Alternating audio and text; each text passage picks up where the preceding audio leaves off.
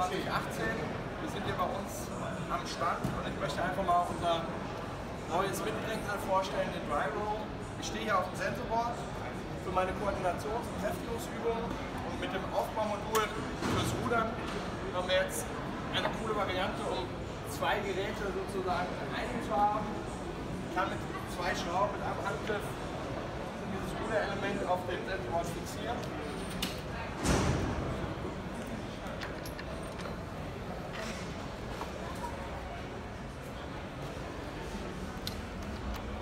Und dann bin ich bereit für meine Ausdauertrainingseinheit.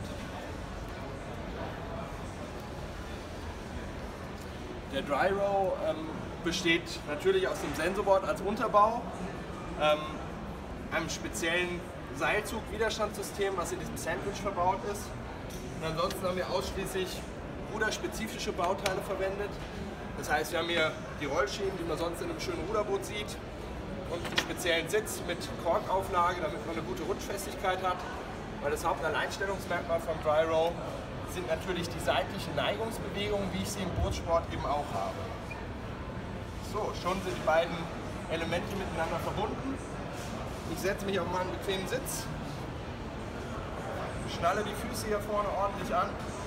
Schon beim Draufsitzen sieht man, dass diese Neigungsbewegung das Ganze etwas spannender macht, als man das vom konventionellen Rudern auf dem Ergometer kennt. Und los geht's. Ich muss über meine Rumpfmuskulatur diese seitlichen Neigungsbewegungen ausgleichen, habe dadurch eine zusätzliche Anforderung und bin noch näher an meiner Zielsportart. Viel Spaß beim Rudern auf dem Row.